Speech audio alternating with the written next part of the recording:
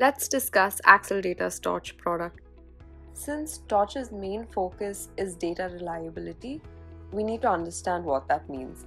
So, data reliability refers to the completeness and accuracy of data, which is the foundation for establishing data confidence within any data driven organization. In this video, let's go through Torch's overview and its overall architecture. Let's start with a general overview of Torch. Let's assume you have a team of data engineers whose primary responsibility is to manage and organize data as well as monitor data pipelines uh, that have a direct impact on your business objectives. Now, data engineers are the ones who provide information to make data driven decisions. And if they provide really poor quality data, then this will impact the decision making. So, this is where Torch enters the picture. So, Torch is a data reliability platform what it does is it crawls specified data sources, profiles the data assets, stores the metadata, produces statistical information about the data, and generates lineages. Some of the capabilities of uh, Torch include observing data quality and data flow in your data lake or warehouse, uh, measuring data quality of the data assets uh, within your data source.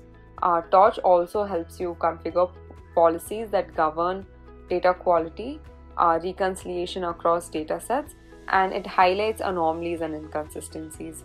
So, with Torch, you will also be notified when something significant happens in your system. Now, let's dive into Torch's architecture. Currently, Torch supports 23 different data sources, and Torch is made up of two parts. So, we have the data plane and the control plane. In the data plane, we have uh, crawlers, the Spark infrastructure, and the query and data analyzers. The data plane never stores any data, it only connects to the underlying databases or data sources. So the control plane receives the results of executions from the data plane and stores them. The control plane is the system's orchestrator and it provides a UI and API interfaces for interacting with the platform.